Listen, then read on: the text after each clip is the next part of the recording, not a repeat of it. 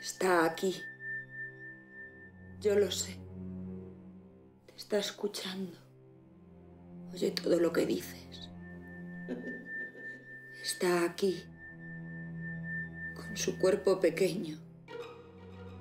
Su olor agrio. Ese olor que llenaba la casa los días antes de que